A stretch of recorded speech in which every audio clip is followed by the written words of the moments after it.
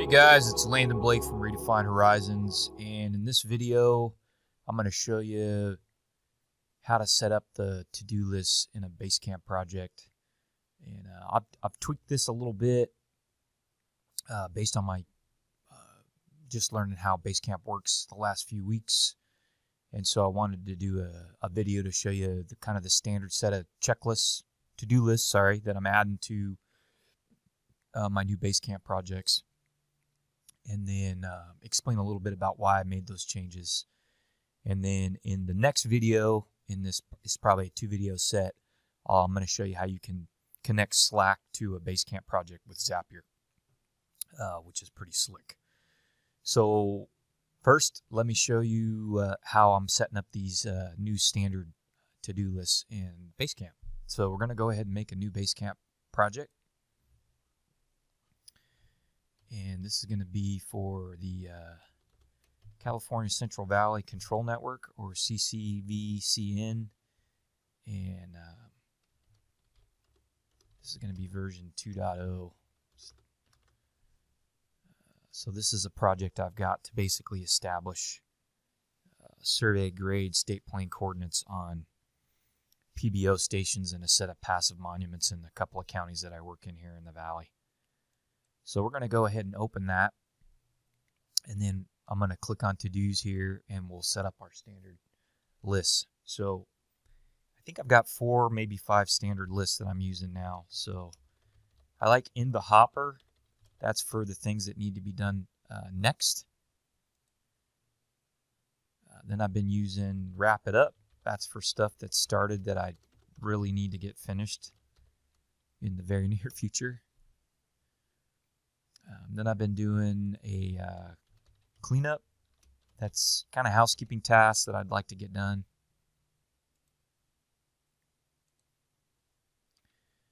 Uh, but that aren't necessarily urgent. Then I've been doing a board for completed tasks. A list for completed tasks, sorry. Um, and let's see, there's one more, I think. I think what it is. Yeah, this might actually be it. It might be these four.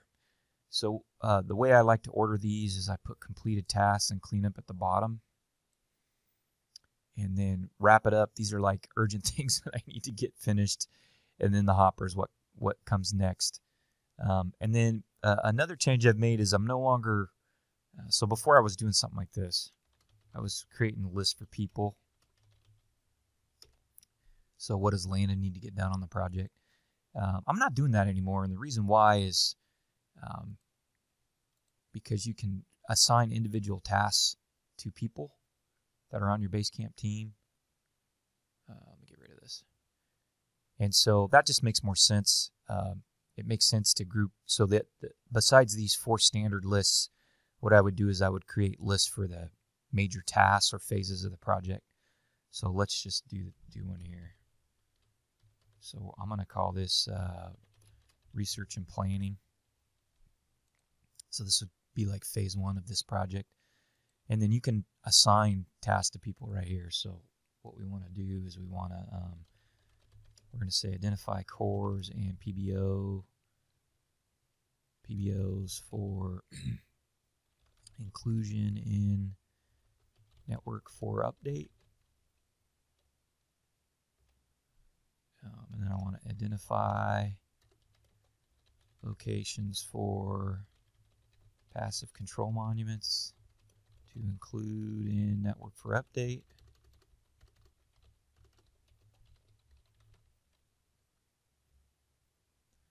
Then I want to create a static GPS session observation plan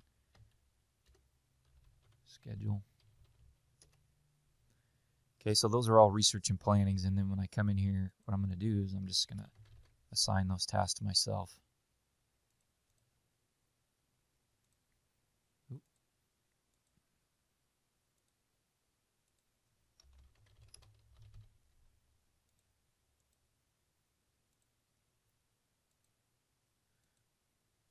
And you can assign due dates to that as well. Um, I'm not going to do that for this because this is this is some pro bono work that we do, some volunteer work uh, that I do. Um, so it doesn't get a deadline. I get to it when I get to it. And then what I do is I just I drag this down below the standard task list. So you always see these four in this order at the top, these standard to-do lists. And then there'd be one for each phase. Um, let me just create one more phase list so you can see what that looks like. So I'm going to call this initial field work. So what I want to do there is I want to say recover and set passive control monuments. And create field package for GPS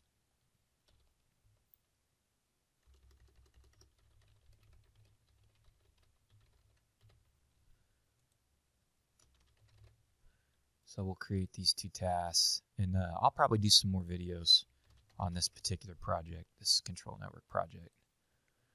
So this, this stuff will make a little more sense. Okay, so again, oh, somehow I didn't get the other one.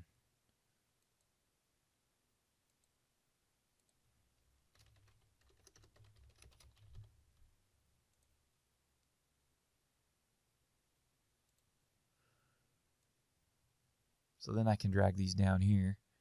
And then uh, what I can do is, so I would do this for for most of the phases in the project or all of them. And then as I'm working on stuff, uh, I'm going to pull it up. So the very first thing I need to do here, this is actually after research and planning. So the very next thing I want to do is this task. So I'm going to pull it up. I'm actually going to pull both these up in, in the hopper. Okay. And then cleanup. I know I have a cleanup task already that I want to do, so I want to clean up the control report format. Uh, let me say template. So I've got a template I use for the survey control reports on this work, and that, that needs to be cleaned up. Assign that to myself.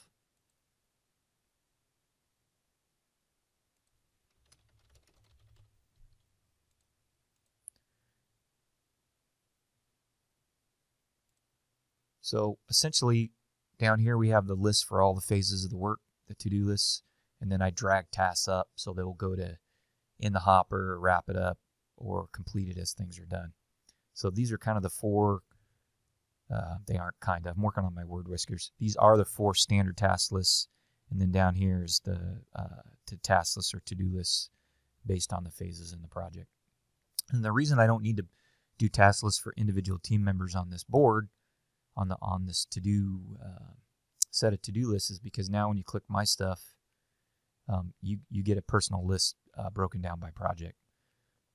So I don't need to duplicate that, and every team member would would see their tasks for uh, their individual tasks. So this gets this list gets customized by the team member.